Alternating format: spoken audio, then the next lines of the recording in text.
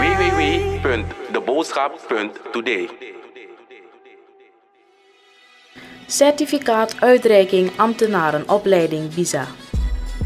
Met de uitreiking van een diploma aan de cursisten van de ambtenarenopleidingen heeft de afdeling Vorming en Opleidingen van het ministerie van Binnenlandse Zaken, BISA, het studiejaar 2018-2019 afgerond. Een van de belangrijkste redenen daarvoor is het opleidingsniveau van de ambtenaren te verhogen met het perspectief om de dienstbaarheid van de ambtenaren en de ambtelijke diensten te verbeteren. De diploma-uitreiking werd verspreid over twee dagen, met name woensdag 21 augustus in de multifunctionele zaal van het ministerie van BISA en vrijdag 23 augustus bij de stichting Nazorg. In Paramaribo hebben voor het schooljaar 2018-2019 71 cursisten meegedaan aan de vooropleiding Surnumerair, waarvan 25 personen de eindstreep hebben behaald.